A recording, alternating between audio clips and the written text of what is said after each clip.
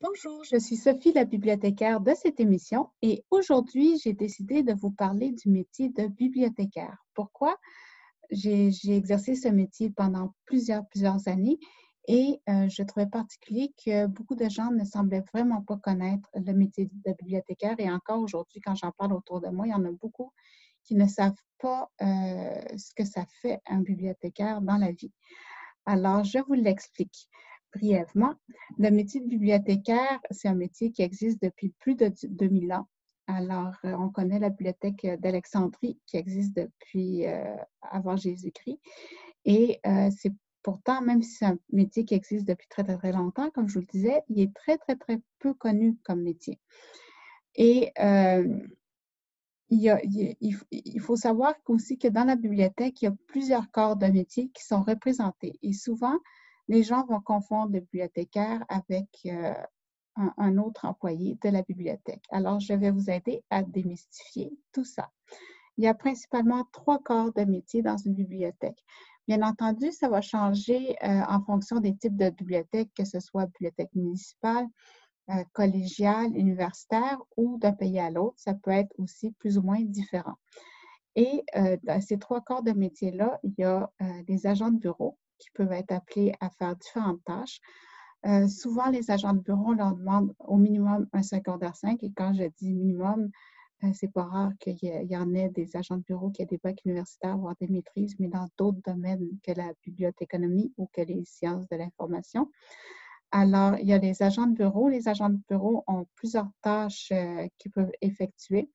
Il y a entre autres l'achat des livres sélectionnés par le bibliothécaire, quand le bibliothécaire sélectionne les livres, l'agent de bureau peut passer les commandes en librairie. Il y a la réception des livres, il y a, euh,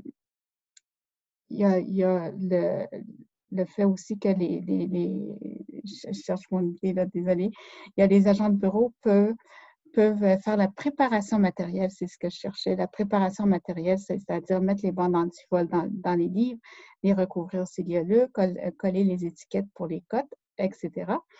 Euh, et dans certains cas, les agents de bureau aussi peuvent être appelés à travailler au comptoir du prêt. Et finalement, il y a le métier très important de rayonneur. Le métier de rayonneur, on le voit beaucoup en bibliothèque, mais il est en fait peu connu aussi. Alors, le rayonneur, qu'est-ce qu'il fait? C'est lui qui est chargé euh, de remettre les livres sur les rayons. On dit aux euh, usagers qui fréquentent les bibliothèques de ne pas remettre les livres sur les rayons et c'est pour une bonne raison. C'est que si un livre est remis à un mauvais endroit, le livre peut être perdu pendant des semaines, voire pendant des mois, le temps que le rayonneur le retrace et le remette à sa place. Alors, le rayonneur, c'est un métier vraiment important. Et euh, s'il n'y avait pas de rayonneur, ce serait le bordel, pour ainsi dire, euh, dans la bibliothèque. Alors, ça, c'est pour ce qui est d'agent de bureau. Comme vous voyez, c'est quand même assez diversifié toutes les tâches qui peuvent être effectuées par l'agent de bureau. Ensuite, il y a le technicien en documentation. Le technicien en documentation, lui, on lui demande d'avoir une technique euh, de niveau collégial. Et euh, c'est différent d'un pays à l'autre, d'une province à l'autre. En Europe, en France, je pense qu'on va parler plutôt de documentaliste. Qu'est-ce qui fait le technicien en documentation? Alors, le technicien, là encore, les rôles vont changer en fonction du type de bibliothèque. Alors, euh, un technicien au niveau universitaire ne fera pas nécessairement les mêmes tâches qu'un technicien au niveau collégial ou encore qu'au niveau municipal. Euh, chaque type de bibliothèque a euh, sa façon de fonctionner. Et le technicien, lui, est habilité à faire le catalogage, à faire un certain service de référencement, tout dépendant des bibliothèques, et à aider l'usager dans, dans, sa recherche de documents. Alors, euh, ça, c'est pour le technicien et le catalogage, c'est vraiment une part importante. Il y a aussi l'animation de la bibliothèque euh, que le technicien peut faire, comme faire des animations pour les enfants. Euh, et tout dépendant des, de l'âge des usagers, il peut faire des clubs de lecture, etc. Il y a euh, le bibliothécaire. Lui, le bibliothécaire, c'est le bibliothécaire qui va former les techniciens en documentation au niveau collégial. Le bibliothécaire, il faut une maîtrise, en tout cas au Québec. Il faut une maîtrise. Euh, ce cours est donné dans deux universités au Québec, soit l'Université de Montréal en français avec l'École de bibliothéconomie et de sciences de l'information euh, de l'Université de Montréal et il y a l'Université McGill qui le donne aussi en anglais. Alors, le bibliothécaire, qu'est-ce qu'il fait de différent? Bien, euh, ça va être parfois le bibliothécaire qui va être appelé à gérer la bibliothèque euh, carrément, c'est-à-dire euh, faire de la gestion de ressources humaines. Le bibliothécaire va aussi faire du développement de collection. Il va émettre les politiques de développement de collection. Qu'est-ce qu'on achète, mais aussi qu'est-ce qu'on élègue et pourquoi? C'est le bibliothécaire qui va émettre la politique et la mission de la bibliothèque. Alors, c'est vraiment des, rôles importants. Le bibliothécaire va être appelé à gérer le budget d'acquisition et le budget, tout dépendant des milieux, peut passer de, ça peut être facilement de 100 000 par année à 140 000 par année. Alors, c'est quand même un montant euh, imposant. Et avec ce montant-là, ça a l'air beaucoup, mais avec 100 000 on peut acheter à peu près 2 000 livres par année, ce qui n'est pas énorme sur une collection de 80 000 livres. Alors, il faut vraiment bien gérer l'espace et le, bibliothécaire est appelé à faire de l'élagage, c'est-à-dire enlever les, vieux ouvrages de la bibliothèque, les ouvrages qui ne répondent plus à la mission de la bibliothèque. Et euh, il y a aussi, le bibliothécaire est appelé à travailler avec, euh, à connaître les lois. Il y a plusieurs lois euh, qui interviennent dans, la, bibliothèque. Il y a entre autres la, loi, la loi du livre. Et ça, j'en reparlerai dans une autre émission, mais la loi du livre, elle est tellement plus à jour. Elle a été créée avant l'informatique, avant les livres électroniques. Ce serait important de la revoir parce que c'est c'est plus à jour du tout, du tout, du tout. Et il y a une chose de bien quand même dans la loi, c'est que ça oblige les bibliothécaires à acheter euh, les livres dans au moins euh, trois bibliothèques, trois librairies différentes de la région. Alors ça, ça, permet d'éviter euh, que des petites librairies très, très intéressantes, très performantes fassent faillite et ferment la porte. Alors, euh, avec le COVID, euh, ça m'inquiète un peu parce qu'on sait qu'il y a plusieurs librairies euh, qui ont du mal en ce moment, mais il y a aussi que les, bibliothécaires, j'imagine, qui travaillent à distance. J'espère qu'ils travaillent à distance, mais j'imagine aussi qu'ils font moins d'achats parce qu'il y, a, moins de monde en bibliothèque pour gérer les achats une fois qu'ils sont achetés. Alors, je ne sais pas comment ça se passe en ce moment, mais les bibliothécaires sont des grands, grands, grands acheteurs des libraires avec des 100 000 par année. Il faut penser, il y a beaucoup, beaucoup de, bibliothécaires qui travaillent dans toutes les universités du Québec, les cégeps, euh, les, municipalités. Alors, ça fait beaucoup d'argent à dépenser. Alors, euh, j'espère que les bibliothécaires sont capables de, faire leur métier en ce moment. Euh, qu'est-ce a d'autre aussi, le bibliothécaire? Il y, a, il la loi sur les droits d'auteur que la bibliothèque doit connaître. le bibliothécaire n'est pas avocat, par contre mais euh, il, se doit de connaître euh, ces lois-là euh, afin d'aiguiller les professeurs, entre autres, et les usagers quant à la bonne utilisation des livres.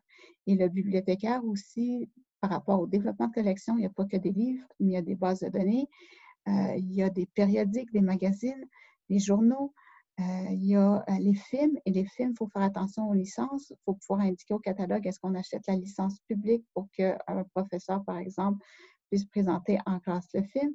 C'est vraiment pas toujours évident de, faire, de, trouver les licences des films. Il y a des licences qui peuvent être restrictives à certains pays. Alors, il y a des gens, des, des usagers, des fois, qui sont frustrés d'apprendre qu'ils ne peuvent pas faire écouter un film à leurs étudiants. Alors, qu'est-ce qu'il y avait d'autre aussi que je voulais vous dire? Euh, je regarde euh, mes notes. Euh, et, je vous disais, il y a les bases de données et le bibliothécaire peut être appelé à former les usagers par rapport à des bases de données spécialisées, que ce soit des bases de données en médecine, pour les sciences infirmières, en pharmacologie, en psychologie, en chimie. il y a des bases de données spécialisées pour les journaux. Alors, il y en a de toutes les sortes de bases de données c'est un univers vraiment fascinant, l'univers des bases de données. Et le bibliothécaire est aussi appelé à faire une veille d'information pour se maintenir informé de ce qui se passe partout dans le monde dans les bibliothèques. Alors, c'est un métier fascinant. Vraiment, là, si euh, vous faites un, baccalauréat dans un domaine et que vous ne savez pas quoi faire comme euh, métier après ce baccalauréat, on sait qu'il y a beaucoup de domaines où c'est difficile de trouver des, emplois ensuite comme anthropologie, histoire, littérature. Alors, euh, si vous optez pour des baccalauréats dans ces domaines, mais ben, sachez que c'est possible de faire une maîtrise ensuite et de travailler en bibliothèque. Mais il faut faire attention parce que la maîtrise est contingentée, il y a beaucoup de demandes et peu d'élus. Alors, euh, voilà, c'est vraiment un métier intéressant. Si vous intéresse, n'hésitez pas. Et il faut savoir aujourd'hui qu'à euh, la maîtrise en sciences de l'information, il y a différentes options. Euh, on parle beaucoup de sciences de l'information maintenant et plus seulement euh, de bibliothéconomie parce que tout est devenu électronique en ligne. On n'a pas que des ouvrages physiques comme ceux-ci, ils sont beaucoup informatisés, alors c'est très important de connaître les bases de données, de savoir comment ça marche, de savoir comment informatiser et numériser les documents.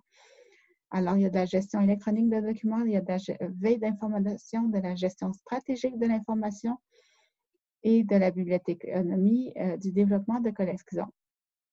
Et je terminer en disant que ce que je trouve vraiment dommage, c'est que c'est un métier tellement peu connu. Quand visite des bibliothèques scolaires, là, oh, que je trouve ça malheureux, euh, il y a à peu près, dernièrement, je vérifiais, il y a à peu près deux bibliothécaires par commission scolaire.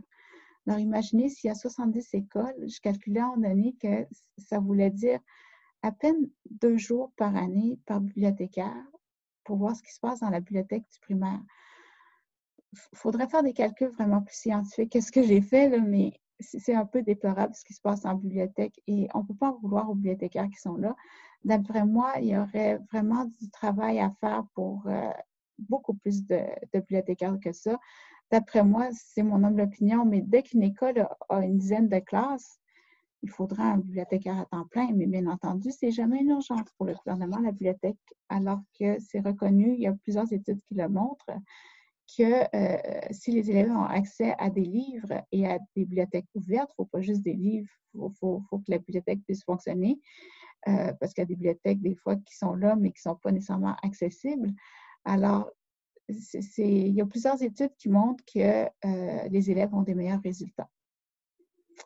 Alors voilà, mon petit bémol, j'aimerais ça qu'il y, ait beaucoup d'amour qui soit donné aux bibliothèques scolaires du Québec. Et sur ce, euh, dans un prochain épisode, euh, je, vais vous parler éventuellement de la loi du livre qui a vraiment, vraiment besoin aussi de beaucoup d'amour et d'être remise à jour. Alors sur ce, je vous dis bonne fin de journée et à la prochaine.